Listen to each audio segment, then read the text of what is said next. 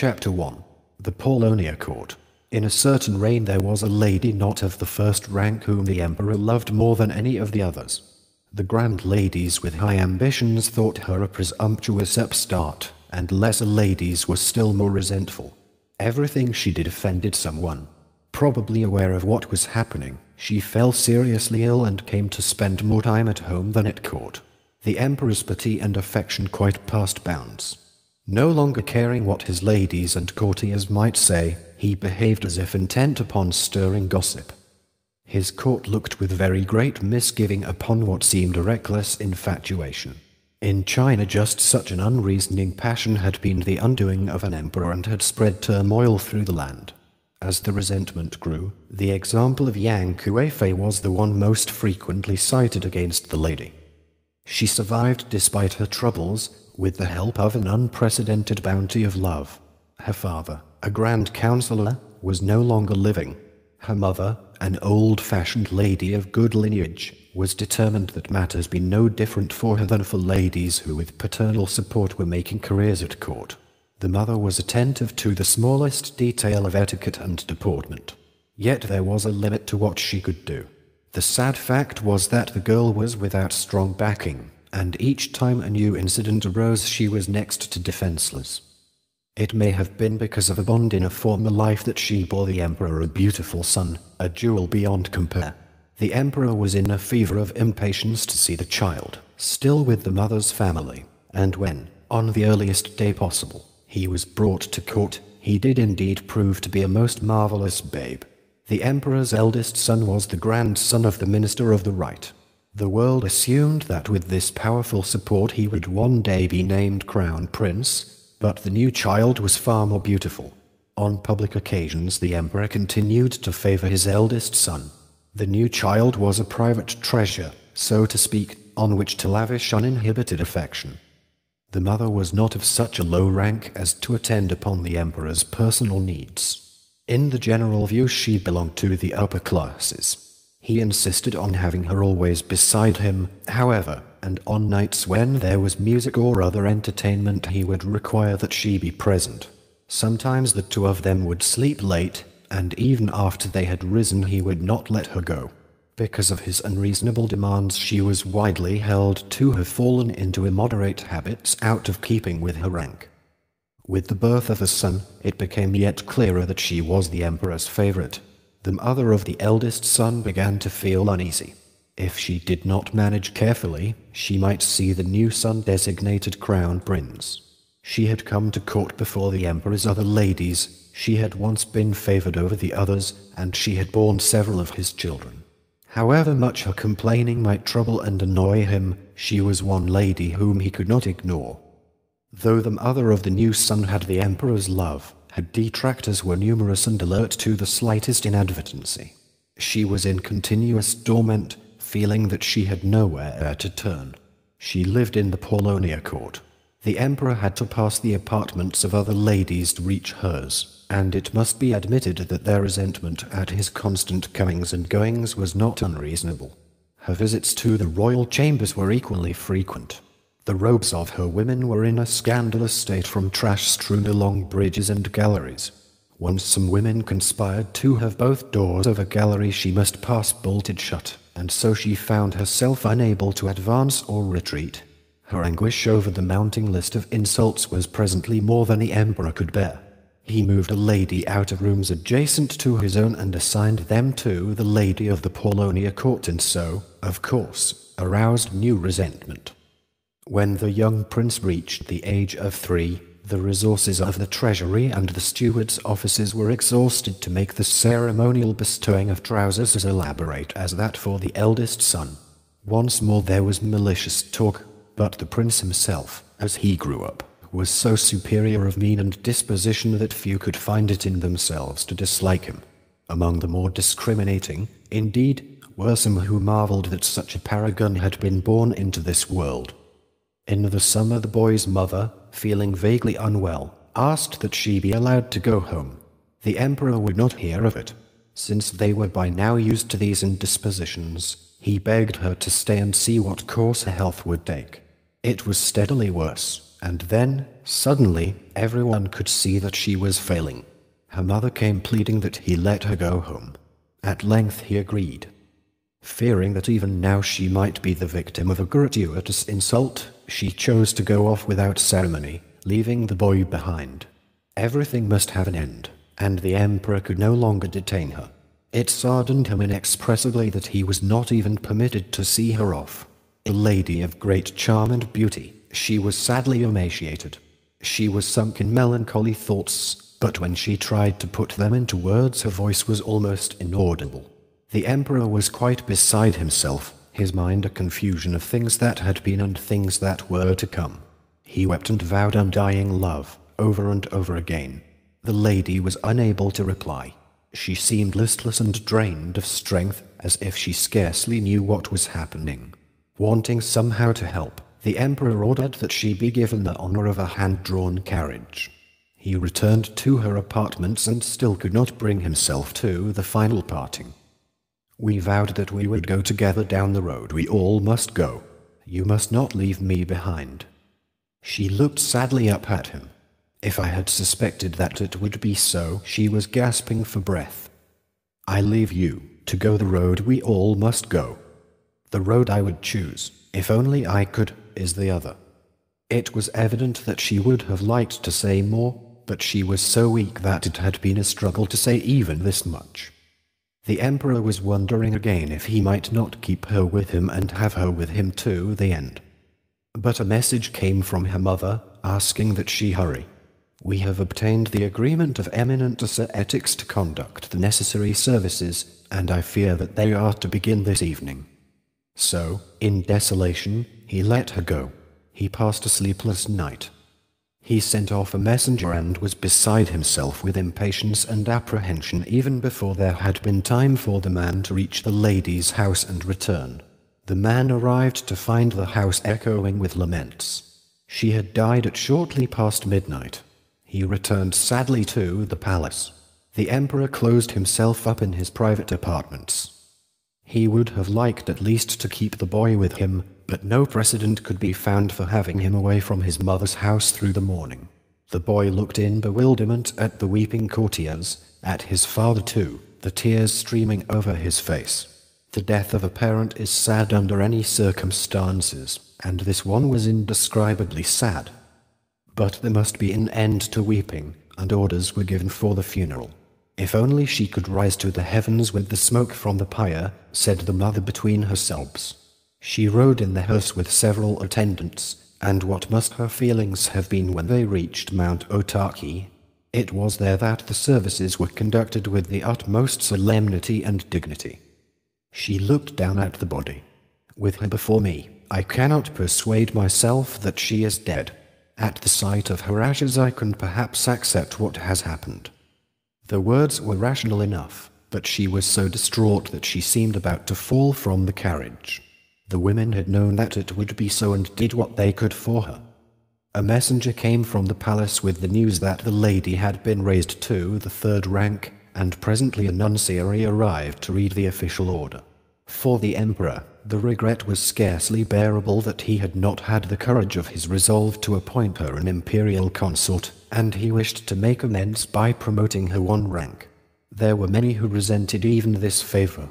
Others, however, of a more sensitive nature, saw more than ever what a dear lady she had been, simple and gentle and difficult to find fault with. It was because she had been excessively favored by the emperor that she had been the victim of such malice.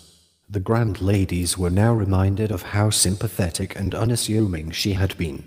It was for just such an occasion, they remarked to one another, that the phrase, how well one knows, had been invented. The days went dully by. The emperor was careful to send offerings for the weekly memorial services. His grief was unabated and he spent his nights in tears, refusing to summon his other ladies. His serving women were plunged into dew-drenched autumn. There was one lady, however, who refused to be placated. How ridiculous, said the lady of the Kokiden pavilion, mother of his eldest son, that the infatuation should continue even now. The emperor's thoughts were on his youngest son even when he was with his eldest. He sent off intelligent nurses and serving women to the house of the boy's grandmother, where he was still in residence, and made constant inquiry after him. The autumn tempests blew and suddenly the evenings were chilly. Lost in his grief, the emperor sent off a note to the grandmother. His messenger was a woman of middle rank called Myobu, whose father was a guards officer. It was on a beautiful moonlit night that he dispatched her, a night that brought memories. On such nights he and the dead lady had played the koto for each other. Her koto had somehow had overtones lacking in other instruments, and when she would interrupt the music to speak, the words too carried echoes of their own. Her face, her manner, they seemed to cling to him, but with no more substance than the lucent dream. Myobu reached the grandmother's house. Her carriage was drawn through the gate, and what a lonely place it was. The old lady had of course lived in widowed retirement, but, not wishing to distress her only daughter, she had managed to keep the place in repair. Now all was plunged into darkness. The weeds grew ever higher and the autumn winds tore threateningly at the garden. Only the rays of the moon managed to make their way through the tangles. The carriage was pulled up and Myobu lighted. The grandmother was at first unable to speak. It has been a trial for me to go on living, and now to have one such as you come through the dews of this wild garden, I cannot tell you how much it shames me. A lady who visited your house the other day told us that she had to see with her own eyes before she could really understand your loneliness and sorrow. I am not at all a sensitive person, and yet I am unable to control these tears. After a pause, she delivered a message from the Emperor. He has said that for a time it all seemed as if he were wandering in a nightmare, and then when his agitation subsided, he came to see that the nightmare would not end. If only he had a companion in his grief, he thought, and it occurred to him that you, my lady, might be persuaded to come unobtrusively to court. He cannot bear to think of the child languishing in this house of tears, and hopes that you will come quickly and bring him with you. He was more than once interrupted by sobs as he spoke, and it was apparent to all of us that he feared having us think him inexcusably weak. I came away without hearing him to the end. I cannot see Fatez, said the old lady. Let these sublime words bring me light. This was the Emperor's letter, it seems impossibly cruel that although I had hoped for comfort with the passage of time, my grief should only be worse. I am particularly grieved that I do not have the boy with me, to watch him grow and mature. Will you not bring him to me? We shall think of him as a memento. There could be no doubting the sincerity of the royal petition. A poem was appended to the letter, but when she had come to it the old lady was no longer able to see through her des at the sound of the wind, bringing dews to Miyagi Plain, I think of the tender Hagi upon the moor. Tell His Majesty, said the grandmother after a time, that it has been a great trial for me to live so long. Ashamed before the Takasago pines, I think that it is not for me to be seen at court. Even if the August invitation is repeated, I shall not find it possible to accept. As for the boy, I do not know what his wishes are. The indications are that he is eager to go. It is sad for me, but as it should be. Please tell His Majesty of these thoughts, secret until now. I fear that I bear a curse from a previous existence and that it would be wrong and even terrible to keep the child with me. It would have given me great pleasure to look in upon him, said Myobu, getting up to leave. The child was asleep.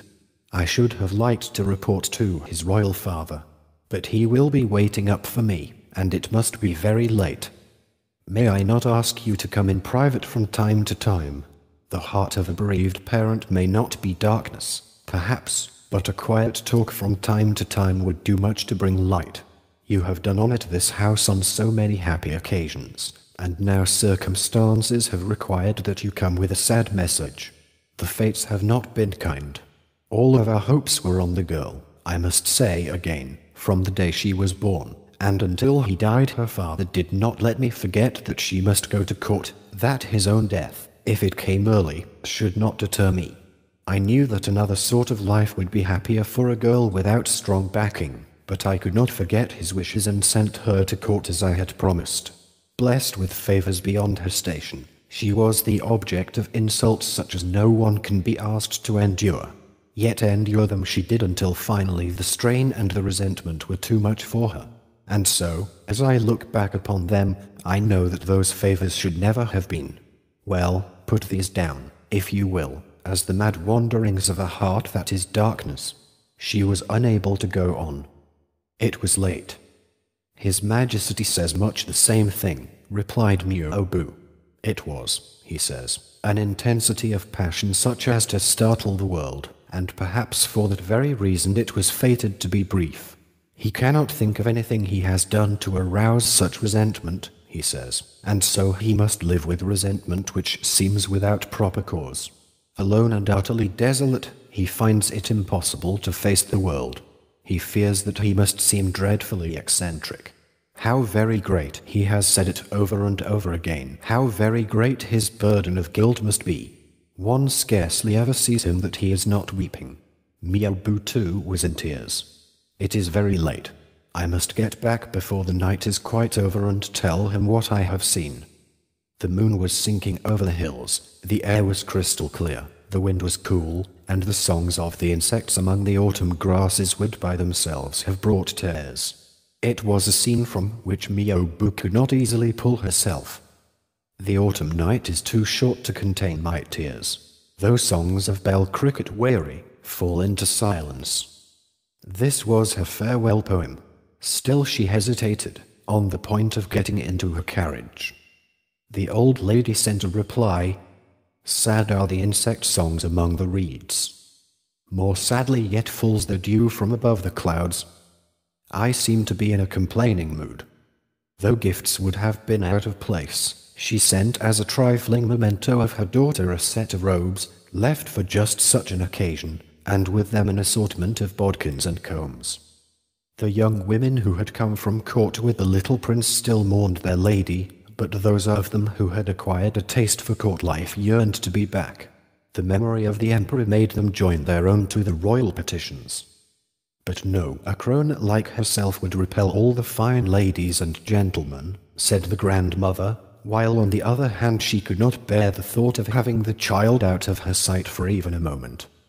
Myobu was much moved to find the emperor waiting up for her, making it seem that his attention was on the small and beautifully plant garden before him, now in full autumn bloom. He was talking quietly with four or five women, among the most sensitive of his attendants.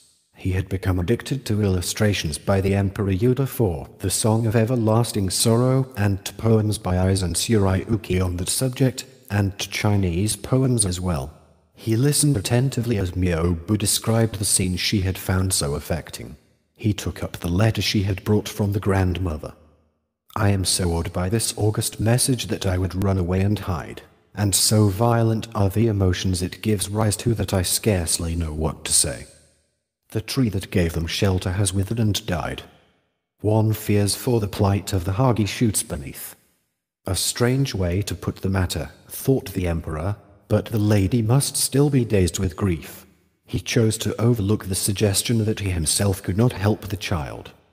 He sought to hide his sorrow, not wanting these women to see him in such poor control of himself. But it was no use. He reviewed his memo, rise over and over again, from his very earliest days with the dead lady. He had scarcely been able to bear a moment away from her while she lived. How strange that he had been able to survive the days and months since on memories alone. He had hoped to reward the grandmother's sturdy devotion, and his hopes had come to nothing. Well, he sighed, she may look forward to having her day, if she will only live to see the boy grow up. Looking at the keepsakes Myobu had brought back, he thought what a comfort it would be if some wizard were to bring him, like that Chinese emperor, a comb from the world where his lost love was dwelling. He whispered, And will no wizard search her out for me? That even he may tell me where she is. There are limits to the powers of the most gifted artist. The Chinese lady in the paintings did not have the luster of life. Yang Kuei-fei was said to have resembled the lotus of the sublime pond, the willows of the timeless hall. No doubt she was very beautiful in her Chinese finery. When he tried to remember the quiet charm of his lost lady, he found that there was no color of flower, no song of bird, to summon her up. Morning and night, over and over again, they had repeated to each other the lines from the Song of Everlasting Sorrow. In the sky, as birds that share a wing. On earth, as trees that share a branch. It had been their vow, and the shortness of her life had made it an empty dream. Everything, the moaning of the wind, the humming of autumn insects, added to the sadness. But in the apartments of the Kokiden lady matters were different. It had been some time since she had last waited upon the emperor.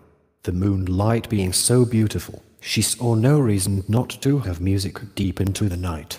The emperor muttered something about the bad taste of such a performance at such a time, and those who saw his distress agreed that it was an unnecessary injury. Kokiden was of an arrogant and intractable nature, and her behavior suggested that to her the emperor's grief was of no importance. The moon set. the wicks in the lamps had been trimmed more than once, and presently the oil was gone. Still, he showed no sign of retiring. His mind on the boy and the old lady, he jotted down a verse There's dim the moon, even here above the clouds. Dim must it be in that lodging among the reeds. Calls outside told him that the guard was being changed. It would be one or two in the morning. People would think his behavior strange indeed. He at length withdrew to his bedchamber. He was awake the whole night through, and in dark morning, his thoughts on the blinds that would not open, he was unable to interest himself in business of state.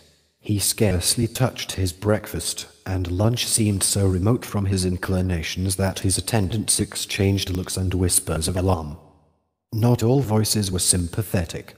Perhaps, some said, it had all been foreordained, but he had dismissed the talk and ignored the resentment and let the affair quite pass the bounds of reason, and now to neglect his duties so it was altogether too much.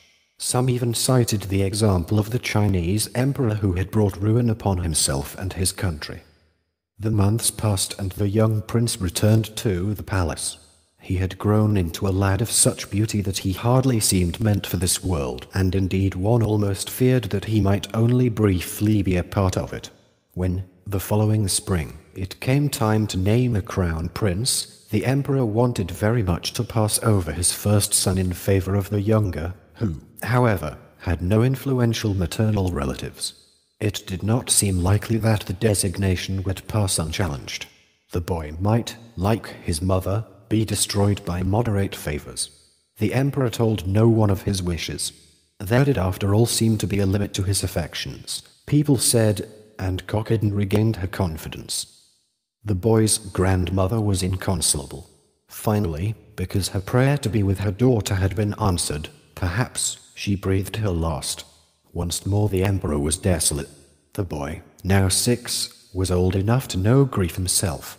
His grandmother, who had been so good to him over the years, had more than once told him what pain it would cause her, when the time came, to leave him behind.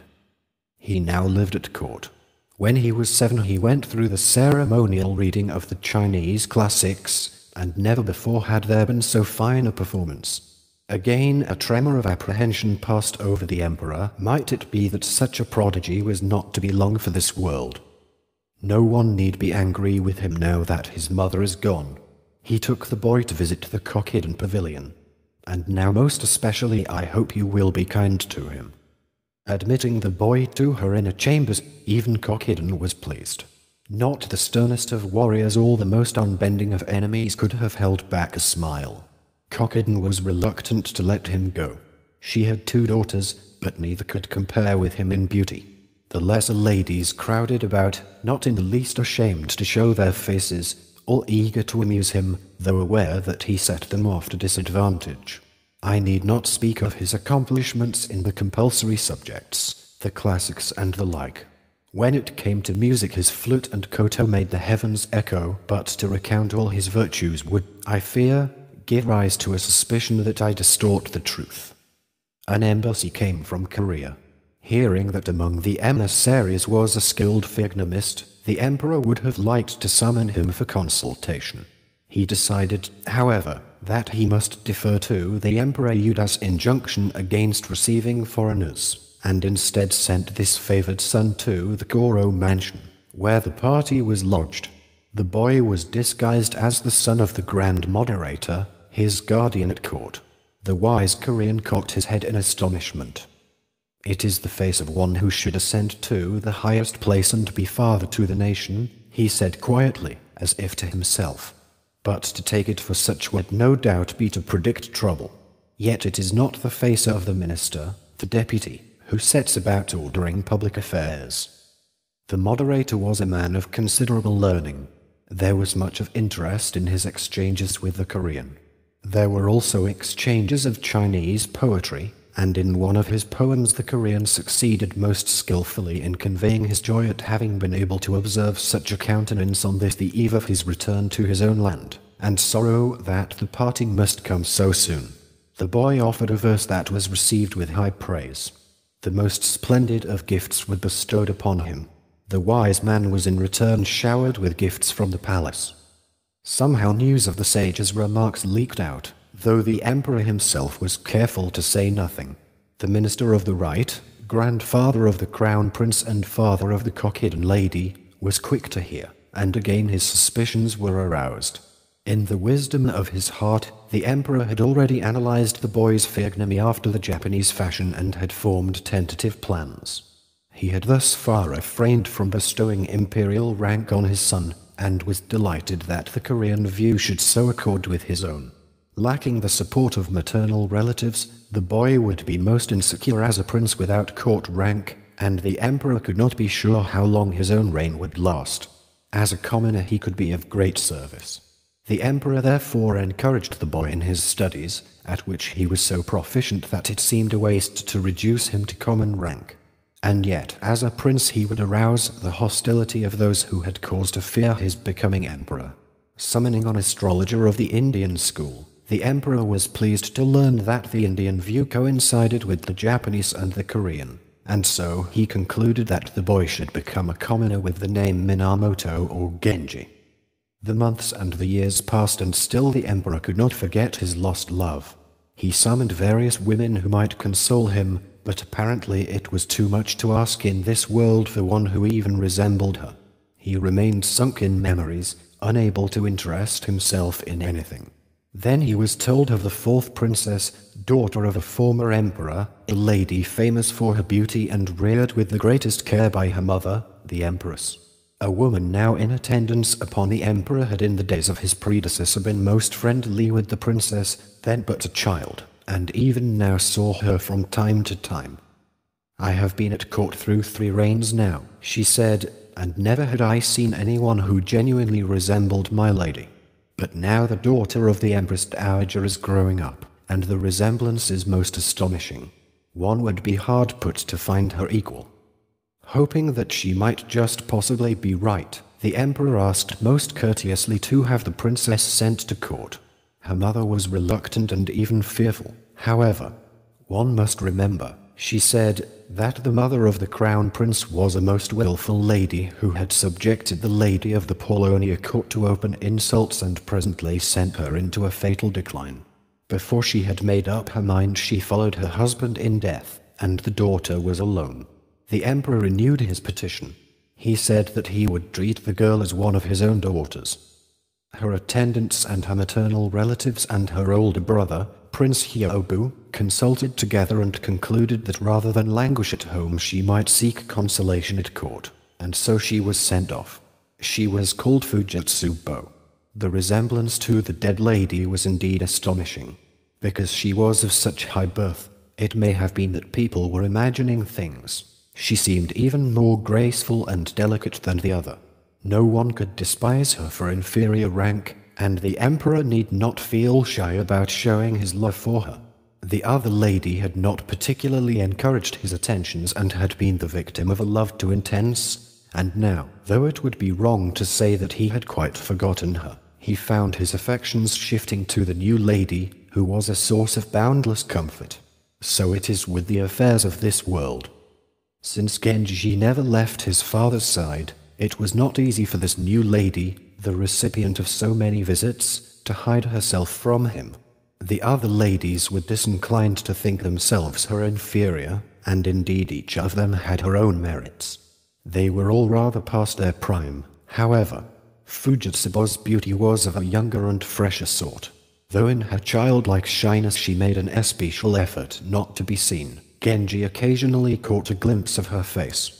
He could not remember his own mother and it moved him deeply to learn, from the lady who had first told the Emperor of Fujitsubo that the resemblance was striking. He wanted to be near her always. Do not be unfriendly, said the Emperor to Fujitsubo.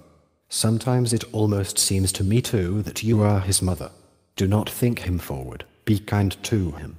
Your eyes, your expression, you are really so uncommonly like her that you could pass for his mother. Genji's affection for the new lady grew, and the most ordinary flower or tinted leaf became the occasion for expressing it. Kokiden was not pleased. She was not on good terms with Fujitsubo, and all her old resentment at Genji came back. He was handsomer than the crown prince, her chief treasure in the world, well thought of by the whole court. People began calling Genji the Shining One. Fujitsubo, ranked beside him in the emperor's affections, became the Lady of the Radiant Sun. It seemed a pity that the boy must one day leave behind his boyish attire but when he reached the age of 12 he went through his initiation ceremonies and received the cap of an adult. Determined that the ceremony should be in no way inferior to the crown princess, which had been held some years earlier in the Grand Hall, the emperor himself bustled about adding new details to the established forms. As for the banquet after the ceremony, he did not wish the custodians of the storehouses and granaries to treat it as an ordinary public occasion. The throne faced east on the east porch, and before it were Genji's seat and that of the minister who was to bestow the official cap. At the appointed hour in mid-afternoon Genji appeared. The freshness of his face and his boyish coiffure were again such as to make the emperor regret that the change must take place. The ritual cutting of the boy's hair was performed by the secretary of the treasury. As the beautiful locks fell the emperor was seized with a hopeless longing for his dead lady. Repeatedly he found himself struggling to keep his composure. The ceremony over, the boy withdrew to change to adult trousers and descended into the courtyard for ceremonial thanksgiving. There was not a person in the assembly who did not feel his eyes misting over. The emperor was stirred by the deepest of emotions. He had on brief occasions been able to forget the past, and now it all came back again vaguely apprehensive lest the initiation of so young a boy bring a sudden aging. He was astonished to see that his son delighted him even more. The minister of the left, who bestowed the official cap, had only one daughter, his chief joy in life. Her mother, the minister's first wife, was a princess of the blood. The crown prince had sought the girl's hand, but the minister thought rather of giving her to Genji. He had heard that the emperor had similar thoughts, when the Emperor suggested that the boy was without adequate sponsors for his initiation and that the support of relatives by marriage might be called for, the minister quite agreed. The company withdrew to outer rooms and Genji took his place below the princes of the blood. The minister hinted at what was on his mind, but Genji, still very young, did not quite know what to say. There came a message through a chamberlain that the minister was expected in the royal chambers. A lady in waiting brought the customary gifts for his services, a woman's cloak, white and of grand proportions, and a set of robes as well. As he poured wine for his minister, the emperor recited a poem which was in fact a deeply felt admonition. The boyish locks are now bound up, a man's. And do we tie a lasting bond for his future? This was the minister's reply Fast the knot which the honest heart has tied. May lavender, the hue of the troth, be as fast. The minister descended from a long garden bridge to give formal thanks. He received a horse from the imperial stables and a falcon from the secretariat. In the courtyard below the emperor, princes and high courtiers received gifts in keeping with their stations. The moderator, Genji's guardian, had upon royal command prepared the trays and baskets now set out in the royal presence. As for Chinese chests of food and gifts, they overflowed the premises in even larger numbers than for the crown prince's initiation. It was the most splendid and dignified of ceremonies. Genji went home that evening with the minister of the left. The nuptial observances were conducted with great solemnity. The groom seemed to the minister and his family quite charming in his boyishness. The bride was older, and somewhat ill at ease with such a young husband. The minister had the emperor's complete confidence, and his principal wife, the girl's mother, was the emperor's sister. Both parents were therefore of the highest standing, and now they had Genji for a son-in-law. The minister of the right, who as grandfather of the crown prince should have been without rivals, was somehow eclipsed. The minister of the left had numerous children by several ladies. One of the sons, a very handsome lad by his principal wife, was already a guards lieutenant. Relations between the two ministers were not good, but the minister of the right found it difficult to ignore such a talented youth, to whom he offered the hand of his fourth and favorite daughter. His esteem for his new son-in-law rivaled the other minister's esteem for Genji. To both houses the new arrangement seemed ideal. Constantly at his father's side, Genji spent little time at the Sanjo mansion of his bride. Fujitsubo was for him a vision of sublime beauty. If he could have someone like her, but in fact there was no one really like her. His bride too was beautiful, and she had had the advantage of every luxury, but he was not at all sure that they were meant for each other. The yearning in his young heart for the other lady was agony. Now that he had come of age, he no longer had his father's permission to go behind her curtains. On evenings when there was music, he would play the flute to her koto and so communicate something of his longing, and take some comfort from her voice, soft through the curtains. Life at court was for him much preferable to life at Sanjo. Two or three days at Sanjo would be followed by five or six days at court. For the minister, youth seemed sufficient excuse for this neglect. He continued to be delighted with his son-in-law. The minister selected the handsomest and most accomplished of ladies to wait upon the young pair and planned the sort of diversions that were most likely to interest Genji.